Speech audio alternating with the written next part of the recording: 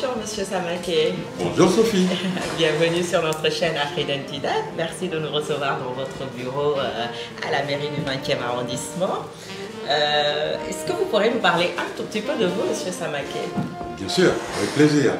Alors la question c'est pour parler de moi, j'ai plusieurs volets. Vous voulez que je commence par lequel? Alors, on va parler euh, déjà de votre parcours, euh, de votre CV, de votre parcours personnel. D'accord. Alors mon parcours personnel, on peut le décliner de plusieurs façons. Je vais essayer de commencer par la façon la plus simple. Je suis arrivé ici à 18 ans, en France, comme boursier du Mali. Donc euh, j'ai fait un bac en Mali en 1975, donc ça ne 75. rajeunit pas.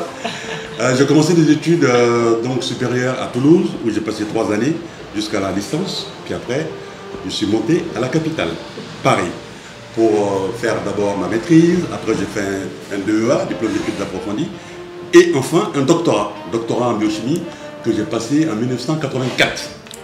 À partir de 84, j'ai commencé une vie, euh, je dirais, de, de citoyen. euh, voilà, j'étais euh, engagé dans la recherche, et dans la recherche privée en France. Voilà, j'ai commencé comme chercheur dans le monde du diagnostic, du diagnostic in vitro. La petite histoire, faut quand même savoir que quand j'ai fait mon doctorat, qui était un doctorat avec vocation après de retourner en Afrique. J'ai fait un doctorat pour faire des tests de laboratoire sans laboratoire. Donc, parce qu'en fait, j'avais comme ambition d'aller en Afrique, mais je trouve qu'au moment où j'ai fini mon doctorat, et les conditions pour pouvoir travailler dans, dans bonnes conditions de, de chercheur n'existaient pas au Mali. Donc je suis resté en France. Voilà, là va commencer une nouvelle vie pour moi.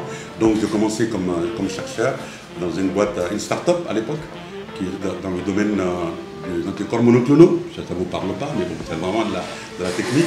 Et euh, 85, et dix ans plus tard, j'ai créé ma boîte de biotechnologie qui s'appelait GKS Technologie.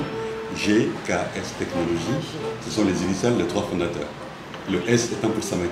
Donc cette boîte était située à Nantes, À Nantes. à Nantes, en Loire-Atlantique. En Loire-Atlantique. Alors, donc, pour la petite histoire, il faut quand même savoir qu'en 1995, il n'y a pas beaucoup d'Africains qui pouvaient créer une entreprise. J'ai créé la mienne et je- je- j'en suis devenu le PDG. Voilà.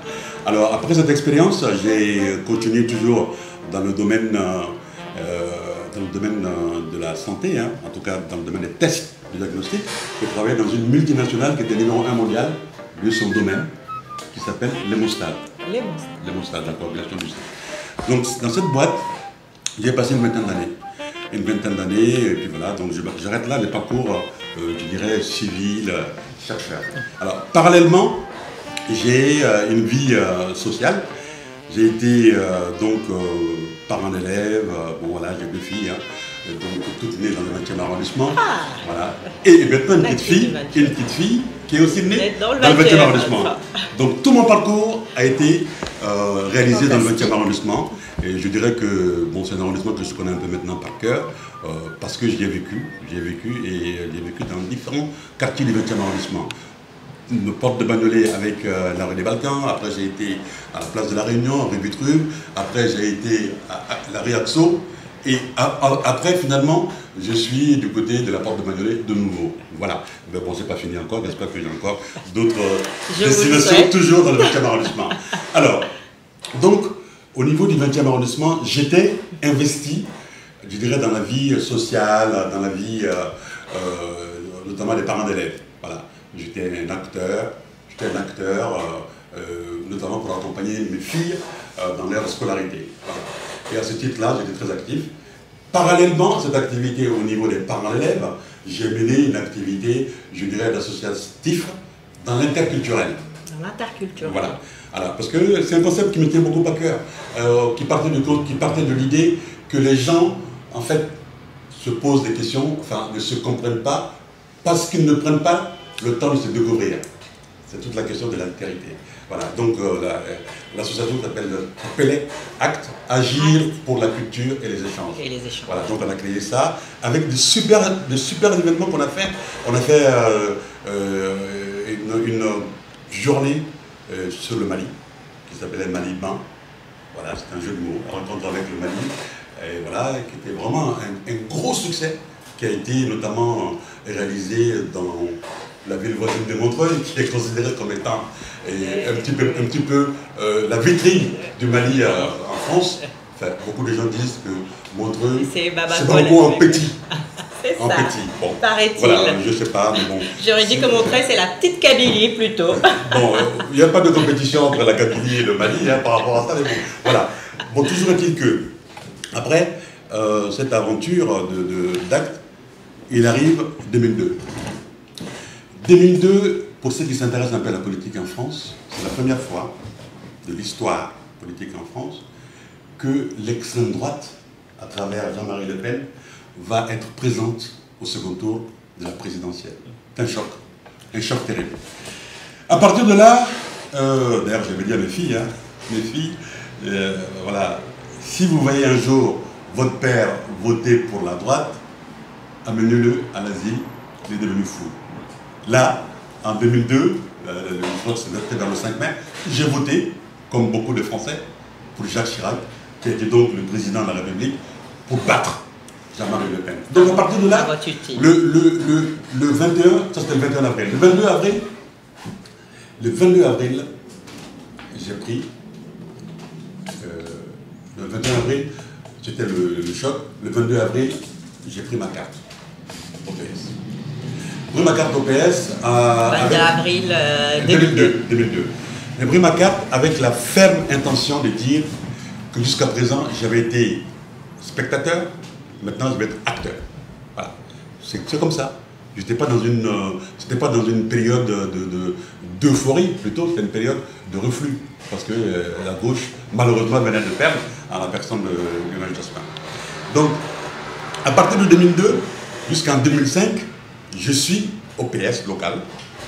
Donc, je vais donc, euh, je dirais, en tant que bon malien, même bon Bambara. Ah, vous êtes Bambara, c'est intéressant. J'avais pensé Solinké. non, Savaké, c'est Savaké, c'est Bambara. Voilà, voilà. Et, euh, et donc, je dis, j'ai passé euh, près de trois ans à observer. C'est pas seulement en tant que Bambara, je suis, je suis aussi biologiste. Et les biologistes, c'est un observateur. Avant tout. Avant tout. Avant tout, c'est l'observateur. Donc, j'ai beaucoup observé. Mais en même temps, il y avait quand même cette question que la politique, c'est pas une démarche ou une activité de solitaire. Voilà, il fallait absolument que je trouve un groupe. Et c'est ce qui s'est passé avec la rencontre avec Mme Georges Collangevin.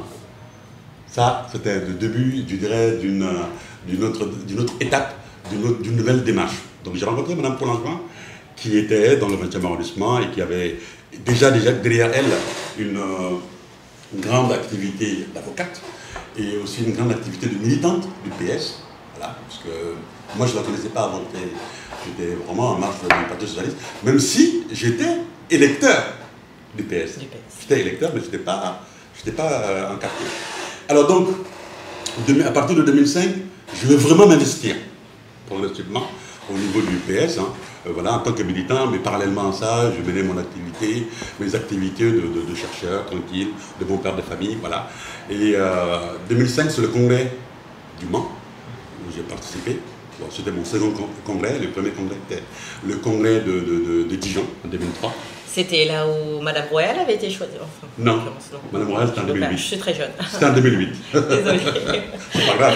Voilà. Et euh, donc 2005, congrès du, Mans. Alors je ne savais même pas comment ça marchait au niveau du PS. Je ne savais rien. Oui, oui vous étiez novice. J'étais novice. Euh, pas tant que ça. Novice dans le PS, mais j'avais déjà derrière moi euh, un passé, bon, euh, quand j'étais plus Engagé ah, D'engagé, mmh. d'actif mmh. engagé. D'actif engagé, mais pas, pas encarté. Pas encarté, euh, enfin, de façon partisane. Bon. Donc, 2005, congrès du Mans, et bon, j'ai commencé un petit peu à m'intéresser à comment le parti fonctionnait. Un fonctionnement du parti. un fonctionnement du parti, voilà. Et après le congrès, je commençais à intégrer l'organe dirigeant au niveau local, qui s'appelle la commission administrative. Voilà. Premier pas. Alors, vraiment, les choses vont se, commencer à se préciser à partir de 2006. Il y a eu la primaire interne au niveau du Parti Socialiste. Hein. La primaire interne, je ne sais pas si vous vous rappelez, avait la compétition entre, euh, d'une part, euh, Ségolène Royal, et deux autres dirigeants du PS, il y avait, il y avait en l'occurrence DSK, mhm. et Laurent Fabius.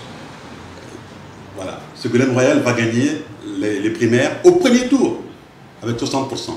Ah oui. Balayant et DSK et Fabius, quand même, qui étaient des poids lourds à l'époque. Alors, après, il va se passer euh, l'élection législative et la présidentielle en 2007. Et là, j'étais vraiment engagé déjà. J'étais vraiment engagé, j'étais très content. Et puis en plus, une de mes filles, Estelle, était aussi engagée avec moi. Voilà, j'étais très content.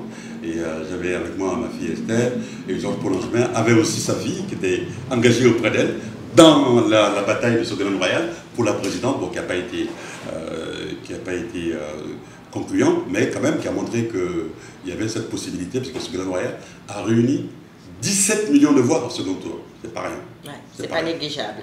c'est la première femme politique française euh, sur la cinquième. Ouais, il n'y a jamais eu oui, jamais eu de toute façon avant elle. Oui, c'était un très beau score. Alors, donc, élu, euh, je vois avec votre écharpe. Oui, donc, avant, euh, avant bah, excusez-moi, je vais donc juste parler un petit peu, parce que 2007, je me suis battu déjà auprès de Georges Paul qui a été élu, qui a été élu député, député de Paris dans le 20e arrondissement. Euh, le 20e, c'est quelle circonscription encore euh, À l'époque, c'était la 21e. 21e, 21e, maintenant c'est la 15e, parce qu'il y a une réforme entre temps. Une réforme. Voilà. Et alors, donc, Georges Paul Langevin était candidate, et euh, la candidature elle-même a été une bataille. Une bataille, mais voilà. Et difficile, mais une bataille qu'on a gagnée. Qu'on a gagnée, je dirais, par la force de la conviction, par la force de l'engagement, et euh, aussi par la force de l'intelligence, parce qu'il n'y a pas de combat à ce niveau-là sans intelligence. Alors donc, Georges a gagné, euh, parce qu'au début on disait qu'on ne pouvait pas gagner parce que les électeurs n'étaient pas prêts. Elle a gagné avec 62,5%. Voilà, moi je suis dans l'équipe de campagne et euh, je ne faisais mes pas dans une élection nationale. Nationale. Alors donc, Georges a gagné, donc voilà, et donc je me suis euh, beaucoup rapproché de, Georges au niveau de son équipe. Hein. en faisait partie et donc je commençais à jouer un rôle de plus en plus important dans l'environnement de Georges. Donc ça c'était 2007. après, il y a eu toute une série de combats. Euh, moi j'ai commencé vraiment à être euh, un, très proche de collaborateur, un très proche collaborateur de Georges à partir de 2009. À partir de 2009. Et on a vraiment commencé à travailler ensemble. Ce qui a permis en 2012, en 2012 d'être directeur de campagne de Georges Polangevin pour les élections législatives, après avoir mené euh, la campagne euh, des primaires, hein, les primaires euh, socialistes qui ont vu la victoire de François Hollande, pour lesquelles je suis engagé. Bon. Alors, donc 2012, Georges Polangevin va gagner avec 10 points de plus par rapport à l'élection précédente. Ah oui. J'étais là directeur de campagne. Au début, on disait, ouais, euh, c'est compliqué, euh, voilà, euh, ça va pas, voilà, parce que, bon, il y a beaucoup de, color people autour de Georges, bah, que, voilà, bon, on a gagné avec 10 points de plus. On a gagné avec 72,5%. Donc j'ai été en mesure, ou en capacité, de travailler avec toutes les composantes du Parti Socialiste et aussi avec toutes les composantes de la gauche. Donc on a fait vraiment, j'ai réussi avec Georges Polanquin à faire l'unité de l'ensemble de la gauche qui nous a permis de faire ce score-là, qui était un score important. Je dirais que même euh, au niveau national, il n'y a pas grand monde qui avait dépassé Georges à, ce niveau-là de score. Bon. À partir de 2012, donc j'ai oublié qu'entre-temps, euh, voilà, au niveau du PS, euh, entre 2008 et 2012, j'étais secrétaire de section adjoint. Donc j'étais numéro 2 de la section. C'était quand même aussi une place importante et que j'ai assumé pendant 4 ans. Donc, 2012, élection de Georges, qui devient ministre. Qui devient ministre, euh, je ne sais pas si vous vous rappelez, elle a été ministre euh, de la réussite éducative auprès de Vincent Payon, dans le gouvernement de Jean-Marc Ayrault. Et puis après, elle a été ministre de l'Outre-mer. Donc euh, voilà, elle est restée là jusqu'en 2016. 2016. Et entre-temps, j'ai été élu en 2014 à la mairie du 20e arrondissement en tant que conseiller d'arrondissement adjoint. Voilà. J'étais donc adjoint euh, en charge de l'emploi, du développement économique, euh, du tourisme de nouvelles technologies. Donc c'était une nouvelle étape. Alors il faut quand même souligner, pour la petite histoire, qu'en 2014, je ne sais pas si vous vous rappelez comment ça se passe au niveau, de, au niveau euh, des listes, j'étais à la place charnière. C'est-à-dire que chaque arrondissement de, Paris envoie à la grande mairie, entre les villes, envoie des conseillers de Paris. Le 20e en envoie 14. Ma liste en avait gagné 11. Et moi, j'étais numéro 12. Donc, la place. euh, Donc, je me rappelle bien, quand euh, les résultats sont tombés euh, en 2014, j'ai un ami d'origine éthiopienne. Il m'a dit Amidou, c'est pas grave. Un long voyage commence par un premier pas. Ah, Voilà. Et donc, j'ai fait mon travail euh, d'adjoint euh, dans des conditions bon, qui n'étaient pas faciles forcément, parce que euh, la maire de l'arrondissement n'a pas du tout arrangé les choses, parce que euh, elle était plutôt en position contre qu'en position pour. Voilà, ce qui était paradoxal, parce que on faisait partie de la même famille politique. Bon, on faisait partie parce que, entre-temps, euh, enfin, entre-temps, aujourd'hui, on sait que nos chemins ont divergé, parce qu'elle elle est partie euh, dans le camp du président actuel de la République. Et d'ailleurs, euh, en 2020, elle a perdu les élections de la façon la plus lamentable possible. Parce que, euh, en tant que maire sortante, elle est arrivée quatrième en faisant que 9%. C'est la, petite histoire. Alors donc j'ai fait mon mandat d'élu adjoint euh, avec ce qui me caractérise. hein. Voilà, je peux le dire en quelques mots. Je suis euh, foncièrement euh, quelqu'un d'humain, voilà, qui aime le contact avec les gens, qui aime. Voilà, je suis un, chercheur. J'ai toujours des idées. On va, voilà, et plutôt curieux et j'ai envie de tenter les choses tenter, expérimenter, ça ne marche pas, on corrige. Voilà. C'est un petit peu la démarche euh, du scientifique, ce que j'ai essayé de faire. Mais en tout cas, dans mon mandat de- d'élu, euh, entre 2014 et 2020, j'ai euh, travaillé au service des habitants du 20e arrondissement. Donc j'ai surtout mis en œuvre euh, la semaine de l'emploi, qui était une idée je ne dis pas que c'est moi qui l'ai inventé, mais au moins je l'ai mise en, en œuvre. Voilà. Semaine de l'emploi qui était une innovation, une véritable innovation euh, sur le plan social, démocratique, la rencontre entre l'offre et la demande sur le territoire. Donc euh, c'est quelque chose, je pense, qui va être gardé. Euh, bon, mon ambition était de développer cette idée, cette innovation, et surtout de l'élargir sur l'ensemble de Paris. Bon, je ne suis pas arrivé à, à élargir sur l'ensemble de Paris, mais il y a quelques arrondissements il y a quelques qui, arrondissements. qui ont, qui ont essayé de faire pareil. Je suis désolée euh, de Voilà. vous couper un tout petit peu. Le temps ne nous permet pas avec cette carrière très très constante, euh, très très riche. Alors, je, vais retenir quelques volets. Euh, Donc, euh, en tout cas, ce fut très constant en politique et on voit votre engagement, votre détermination. Et euh, parce que vous voulez participer activement au développement de votre pays et donc la nation française. Et donc pour revenir un tout petit peu à votre parcours personnel, donc vous êtes quand même scientifique. Oui. Voilà, puisque vous avez été, vous êtes dans la, vous avez été dans la recherche, dans la Biochimie, et notamment in utero, euh, in vitro, In vitro. dans les euh, diagnostics euh, in vitro. Euh, Avez-vous déjà pensé euh, à développer ça, par exemple, euh, en Afrique? Parce que si je Sophie, c'est une excellente question. Excellente question parce que, bon, je dirais que on, on revient toujours euh, à ces idées de, de jeunes. Quoi. Et euh, mes idées de jeunes, voilà, j'ai malheureusement eu le tort, comme dirait un copain, le tort d'avoir raison trop tôt. Ah, Parce que euh, quand j'ai commencé, comme je l'ai dit, hein, je fais un doctorat sur euh, les tests rapides, donc en fait la volonté de faire des tests de laboratoire, sans laboratoire. sans. Voilà. Alors donc, et le truc, c'était euh, de travailler, euh, faire des tests, genre tests de grossesse qu'on vend maintenant à la pharmacie. Voilà. D'accord, J'en ai fait moi-même de mes propres mains. Donc je sais le faire. fantastique. Voilà, je sais le faire. Wow. J'avais jusqu'à présent dans mon bureau euh, un, test, mais bon, je n'ai plus parce que le dernier échantillon qui me restait a été pris par. euh, ben, je savais que mes tests, non seulement ils existaient, ils marchaient, ils marchaient très bien. Surtout, j'ai eu des collègues qui m'ont qui m'ont dit Amidou, euh, bon, parce que les, les tests, on les garde euh, dans la chambre froide à, à plus 4 degrés, à 4 degrés, et normalement, il y a une date de péremption. Pour les tests oui, de, oui, oui, oui, oui. Il y a, voilà, bon, voilà, il y a, il y a des études qui sont faites pour, pour, démontrer que, pour, montrer que les tests, et après un délai de conservation de temps, de temps à temps de degré, ils sont plus valables.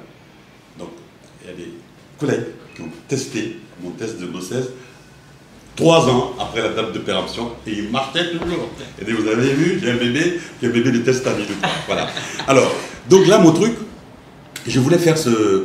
Mon concept était de faire ce, ce genre de test en Afrique. À, à grande échelle, ouais, Mais à grande échelle, mais en Afrique. en Afrique. Et le concept était était simple, c'est de dire, euh, bon, je peux le faire avec euh, l'idée que, euh, dans un premier temps, comme ça se fait pour d'autres- pour d'autres paramètres, hein, pour d'autres tests, dans un premier temps, on va commencer le travail en Europe et après on fait l'assemblage en Afrique. Ah oui. Pour que progressivement, on rapatrie tout en Afrique. C'est simple. Le test, euh, comment ça se fait, je, je connais le truc, le process de A à Z. Donc je- voilà, c'était mon job. Donc c'était pour la grossesse, qui est aujourd'hui un test d'actualité, hein, parce que j'en ai parlé il n'y a pas longtemps avec euh, le ami malien, parce que je vous le dis en passant, que entre-temps, je suis devenu le président d'honneur du Conseil franco-malien des affaires. Ah, ça Voilà. c'est ça Voilà. c'est ça c'est un point qui intéresse Voilà. notre chaîne. Afridentidad. Voilà, voilà. Président du Conseil d'honneur. euh, Président d'honneur du Conseil- Ah, du ouais. Conseil euh, Malien franco-malien. des affaires. Intéressant. Et donc l'idée, l'idée c'était Parlez-nous un tout petit peu de. Oui, je vais en parler. L'idée était, euh, par exemple, par rapport à une des pathologies qui, qui fait le plus de mal en Afrique, le paludisme, Ah oui, en Afrique subsaharienne. c'était d'arriver à développer un test qui permettrait de diagnostiquer très tôt, De dépister. de, de- euh, voilà, de et diagnostiquer. le, plasmodium. Ouais, voilà. Et c'était une idée que j'avais il y a plus de 25 ans. Et euh, je suis vraiment un peu, un peu têtu. Il n'y a pas longtemps, il y a peut-être 4 ans, quand j'étais au Mali euh, pour euh, des séjours euh, familiaux, quoi, pour aller voir ma mère. Qui est où? Vous êtes du pays de Dogon ou vous êtes non, à Bamako? non, non, non, non, non. Non. sommes à une heure euh, et demie de, de Bamako. Ma mère vit à Bougouni. D'accord. Qui est à une heure et demie au- à l'ouest, au nord sud. ou au sud? Au sud. Au sud. Au sud. sur la route de Sikasso. Sur la rue de Sikasso, Voilà. en effet, je, je Et, euh, et donc, il y a un de mes neveux qui était malade. En fait, il avait le palu. À ma grande surprise, et aussi à ma grande joie, un technicien a fait un test, qui était un test, euh, test rapide, pour euh, tout de suite Une dire- goutte épaisse Une goutte épaisse, sur, voilà, pour dire, euh, jeune homme, jeune homme, tu tu as palu. Voilà. Et ça permet tout de suite d'orienter le se rendre compte aujourd'hui, Voilà. en Et- 2020, que euh, idée que euh, beaucoup de gens meurent encore du paludisme et un test aurait suffi pour euh, quand même diagnostiquer euh, le palu, euh, Voilà, d'autant plus le palu de, de sa forme la plus grave, qui Oui, est quand oui. même le paludisme cérébral. Ouais. Bon, je, je sais que vous êtes scientifique, mais je m'y connais un tout petit peu aussi. Je m'intéresse à la santé publique de l'Afrique subsaharienne. Mais oui, ça, je pense que c'est un, ça, c'est un moyen de développement activement, parce que je pense que l'Afrique subsaharienne en a besoin, parce que je, je n'ai pas en chiffre le taux de mortalité, mais mourir aujourd'hui du paludisme, je trouve que c'est... euh, Oui, voilà. Donc moi, au-delà de la, de la santé, qui est mon, mon, mon domaine, je dirais mon domaine de formation, et mon domaine de prédilection, je suis à un stade où je suis intéressé par le développement en général. le développement en Voilà, général. le développement en général. Et à ce titre, euh, donc, euh, j'ai été au Mali en 2017 En 2017. et j'ai participé au forum qui s'appelait Forum Invest in Mali Ah, en décembre en 2017. décembre 2017. Alors, qui regroupait... euh, C'était, euh, que... C'était ah, ouais, que- que malien. que malien. Il était que malien. Et euh, c'était très intéressant pour moi, très émouvant. C'est la première fois que j'allais au Mali, depuis près de 40 ans, pour des raisons qui n'étaient pas des raisons euh, privées, qui étaient des raisons presque professionnelles. Presque professionnel. Voilà, donc c'est la première fois que je voyais le Mali euh, en activité, quoi. Voilà, moi aussi en activité. Et là, ce, ce forum était très très important pour moi parce que j'ai des forums, j'en ai fait plein, moi, personnellement. J'ai fait des forums en France et il y avait euh, 200, 200 500 personnes. Et on n'en parle pas beaucoup Oui. dans la presse, machin. Et là, Et, là, il y avait un forum, il y avait 500 personnes, 500. peut-être peut-être un peu moins. et on a On avait le président de la République, le Premier ministre, le ministre des Finances, le ministre de l'Agriculture, le ministre de l'Investissement dans le secteur privé, j'en oublie sûrement d'autres, qui étaient là. Donc tous les acteurs politiques maliens étaient réunis. Étaient là, étaient là, et surtout, on en a parlé dans la presse, dans la presse, à la télé, voilà. Ça, a fait du bruit. J'étais très content. Oui, et, encore plus content parce que le ministre de l'investissement dans le secteur privé était, je dirais, un, copain de fac. Voilà. On s'était un peu depuis quelques années et puis c'est agréable de se rencontrer. De se rencontrer. Euh, je sais que nous n'avons pas beaucoup de temps, M. Oui. Samaké, avec ce parcours aussi riche, aussi bien en vie euh, professionnelle pour le scientifique que vous êtes, et également votre vie politique. Euh, je pense qu'on aura l'occasion, en tout cas, de, de, de, refaire d'autres interviews, donc vous concernant, puisque vous, vous participez activement au développement de la vie en France, mais également de, voilà, de votre pays d'origine, qui est le Mali, qui un très beau pays à faire. Alors que suggérez à la, que suggérez-vous aujourd'hui à la jeunesse malienne? On peut parler de la jeunesse malienne en règle générale. Donc, euh, si je vous disais intégration et acculturation.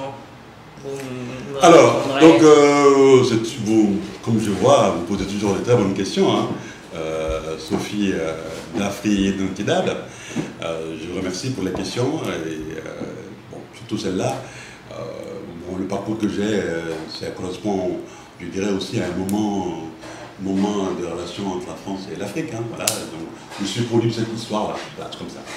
Alors, les, jeunes qui sont là ont besoin d'avoir, y compris euh, au niveau politique, au niveau économique, des, modèles à qui, euh, qui ou en qui ils peuvent se, retrouver et qui les représentent. Et ça, c'est vraiment le souci. C'est l'une des raisons pour lesquelles aussi, je pense, que je me suis engagé à être élu. Parce qu'au départ, je ne voulais pas être élu, ça ne m'intéressait pas. Puis euh, très souvent, on me dit, mais, ben, pourquoi tu n'es pas candidat pour, euh, Parce que, en fait, dans une des campagnes récemment, là, dans le 20e arrondissement, euh, j'étais là en train de distribuer les tracts, j'ai vu des jeunes qui me disent, ah ben, nous on va voter, si c'est toi, c'était pour toi. Voilà, on va voter, c'est pour toi. Donc en fait, ça veut dire qu'il y a une volonté au niveau de, des gens, des jeunes euh, issus de la diversité. Qui, me ressemblent. Oui, bah oui issus de la diversité. Euh, tout type confondu. Hein. La diversité ne veut pas spécialement dire euh, coloré. oui, oui, oui. Qu'importe. Bon, voilà, qui, qui, veulent voter pour moi, qui disent, bon, voilà, parce que il y a plusieurs valeurs que les gens remarquent. Voilà. Je suis quelqu'un de, proche du terrain, de proximité, engagé, disponible et, euh, et qui vraiment se bat pour la justice et l'égalité. Et l'égalité. Voilà. Et je dirais qu'au-delà de tout, au-delà de tout, je place l'humain. En tout cas, merci je place beaucoup. Euh, c'est moi qui vous remercie. Merci beaucoup, M. Monsieur Gassama. Juste euh, de euh, Monsieur Samaké, excusez-moi, je me suis trompée de Gassama. Je pense que c'était un de vos prédécesseurs dans cette mairie. C'est peut-être la raison pour laquelle, voilà, je dis Gassama, Monsieur Samaké. J'aurais deux dernières questions à vous poser. Cette fois-ci, il s'agit de culture. vous me dites, si je vous dis nuit de cygne, vous me répondez Nuit de cygne Nuit de cygne. Chant d'ombre. Ouais, euh, théâtre, euh, euh, poésie, voilà. Poésie. Là, en l'occurrence, c'était un clin d'œil à Léopold Sédar Senghor et à tous ces grands hommes de lettres. Donc, J'en ai, parlé ce matin. Vous en avez parlé ce matin? C'est de, de Léopold Sédar Senghor, parce qu'en fait, ce matin, j'étais en train d'évoquer, dans le cadre de mes délégations, voilà, ah, donc, euh, vous n'êtes pas sans savoir que là, actuellement, il faut quand même le dire, je suis élu, conseiller de Paris et conseiller métropolitain. Et conseiller, ouais, c'est ce que j'ai vu, du, métropole du Grand Paris. Oui, la MGP. À ce titre euh, de conseiller de, Paris, au niveau du 20e arrondissement, je suis conseiller délégué auprès du maire du 20e arrondissement en charge des relations internationales, de la francophonie, ah. du lien intergénérationnel et des seniors. C'est tout un problème. Alors, ce matin, euh, j'étais en train de parler avec un citoyen du 20e arrondissement. On évoquait la possibilité, euh, les possibilités pour euh, l'année qui vient par rapport aux activités que je pourrais faire dans le cadre de mon mandat. Donc on avait évoqué plusieurs idées hein, dans le cadre de la francophonie, dont une concernait le Paul Sédar Senghor, qui a été, qui a été un personnage marquant sans. Voilà, il a, de la francophonie, du monde des lettres. Il est académicien, voilà, et euh, aussi un promoteur la négritude, voilà, n'oublions pas. voilà, la négritude. avec, euh, Senghor, avec, Césaire. Avec Aimé Césaire. que quand il est de retour au pays natal, on peut ajouter Damas aussi. Et, Damas, et, et, voilà. Et tous ceux qui sont venus après, Birago Diop, oh j'en passe, des plus jeunes, en tout cas, ces grands enfants je prodiges. je vais vous raconter une petite histoire. Voilà. Une petite histoire. C'était pendant les vacances, j'étais du côté de du côté de la Dordogne, dans un petit restaurant très sympathique.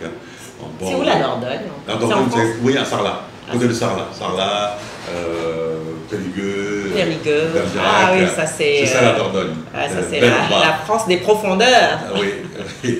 Et là, j'étais là, dans, dans, ce que vous appelez la France profonde. J'adore.